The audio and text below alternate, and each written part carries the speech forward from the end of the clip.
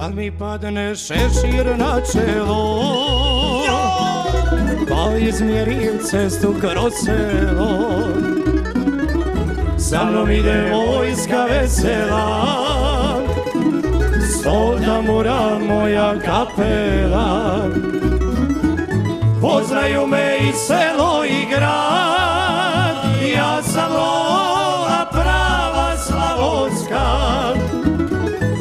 zaigra drmeš lagani Hoće srce puknut u meni Sve poštivam, svoje uživam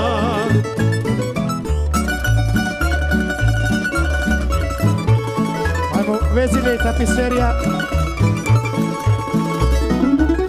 Govore mi da se oženim I čorava posla okanim Šta kad je jače od mene Ganjat su i tambure.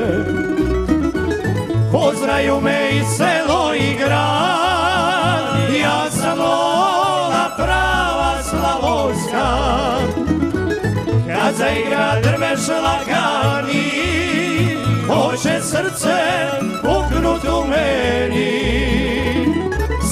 poštivam, svoje uživam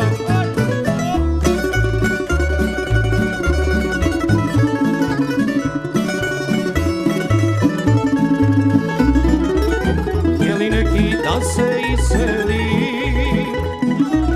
Djedovinu svoju osavi Al bi prije umro ja za nju Slavoniju moju ponosnu.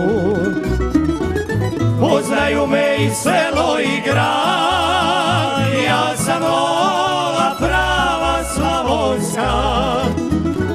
Kad zaigra drmeš lagani Hoće srce puknut u meni.